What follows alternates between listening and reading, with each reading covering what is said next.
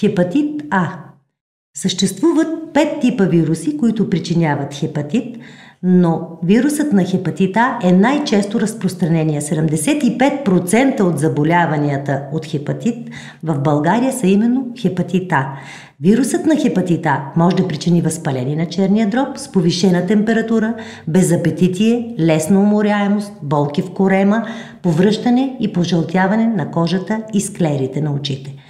При деца на възраст под 6 години, а също и при някои възрастни, може да протече безсимптомно или да протече с симптоми на вирусна инфекция, без да има пожълтяване, което затруднява диагнозата.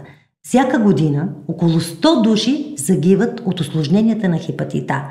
Вирусът се открива главно в изпражненията и инфекцията се предава с заразена храна и вода